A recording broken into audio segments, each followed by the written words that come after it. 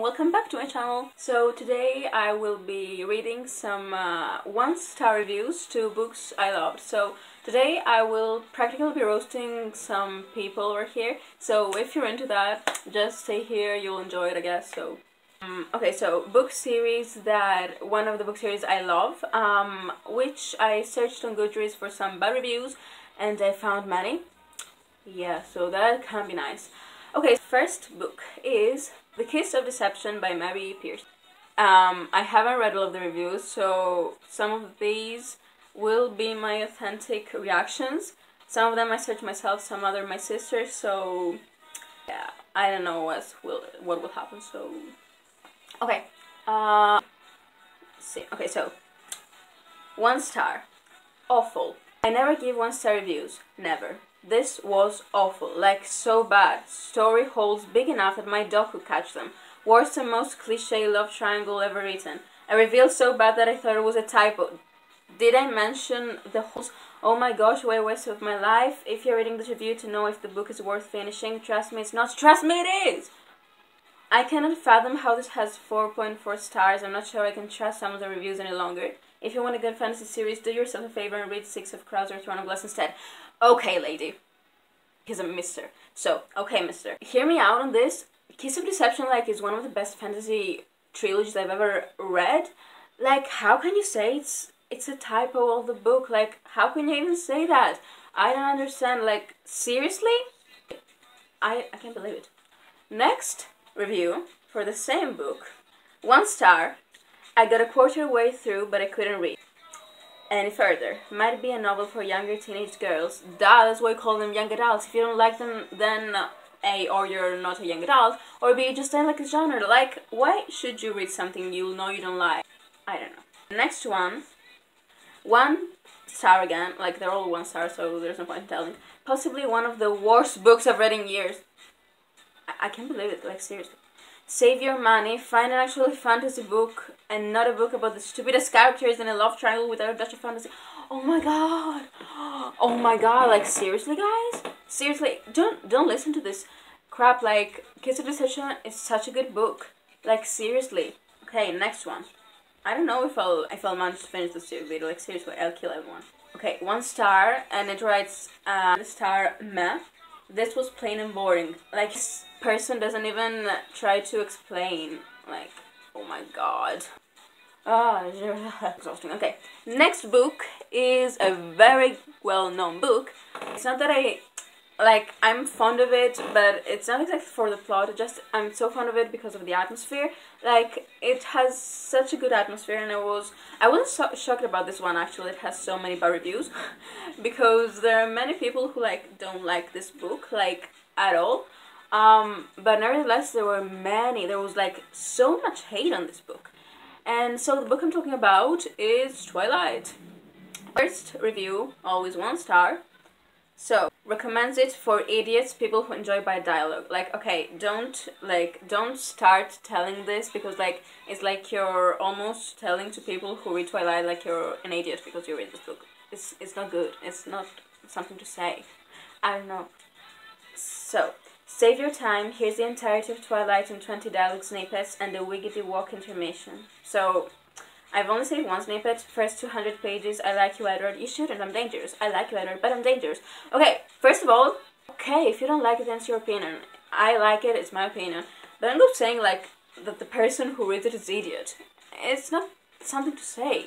Like, it's something bad to say. Anyway, next one.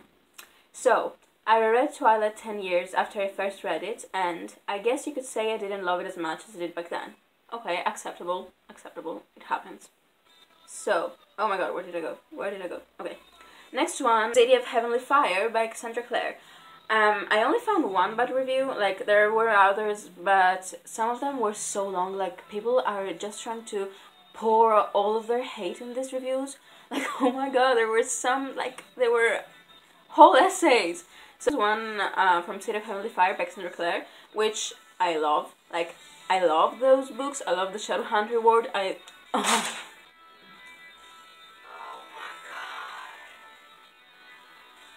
Oh my god. That was so scary. just some things that help. Like that's normal. Okay, so always is one um, star. References to the Infernal Device were golden, but that's it. I hope Lady Midnight is somehow different from this constant teen drama peppered with plain humor and waffling. The humor in these books is like precious. It's it's the most amazing humor I've read like in books. So don't don't don't talk about that humor like this. You can't trash talk the humor of Cassandra Clare in the books because like it's amazing. So you don't do that to me. Okay. Next one and last one. Oh, next one and last one. Teardrop by Lauren Kate. Um, this is actually the duology I was reading lately, and I actually like.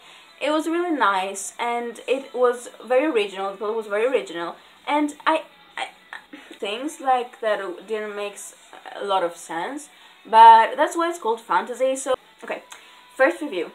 Uh, this is a long one, and I haven't read this as well, so Okay, every character is the most dull piece of da-da-da that I've ever had to read, and it was honestly a struggle to get through this. The plot was pathetic, the world building was pathetic, everything about this pile of crap is pathetic. The writing style was 200% not for me, and honestly, I'd sooner shoot myself than read this again. Does that sound horrible? Yeah, probably. No, that sounds horrible, don't worry. But honestly, I don't care because this is the worst book I've ever had to read, and it deserves a really bad review. I wouldn't recommend this book to my worst enemy, and I hate it every single time I see it in a bookstore. Okay, that's far-fetched, people. this cover is beautiful but misleading for the pile of da-da-da that is inside. Uh, okay. Some people are just bad. no, I'm not trying, I don't want to criticize. Look, this video is for fun, like, I don't want to criticize anyone from this, I'm just doing it for fun. But I'm just saying that this is my opinion and I just think that this book deserves some more love. Just, that's all. Next one, Always for Teardrop. One star, I give up. Did not finish. I haven't thrown a book across the room in a long time. Oh my god, like these people really hate these books. I, I, only throw books across the room when they're school books. Like honestly, I don't know. Last one. So, the Fallen series was a ridiculous one. Okay. I still enjoyed each and every one of those stupid books, but this, referring to Teardrop, so dumb. I couldn't find myself liking Eureka, the uh, protagonist, and even with all that she had gone through, I had a hard time feeling any sympathy for her because of how annoying she'd be. The romance was even worse. The two potential interests are written out so ridiculously that I cringed whenever they interacted with Eureka. Like, seriously. It wasn't cringy, like, I didn't find it cringy at all. It was... I wouldn't throw it across the room. I wouldn't burn it. I wouldn't... Like, I don't know. Like, I'm the extreme. I don't know. So, yeah. Oh my god, I feel so bad about these books. Like, they deserve some love. So much. Does it really, is it really necessary to be that bad? Like, oh my god. Okay, so that's all. I hope you enjoyed me roasting people because they reviewed like so badly the books I love. That's all for today. I hope you enjoyed and I'll see you in my next video. Bye bye.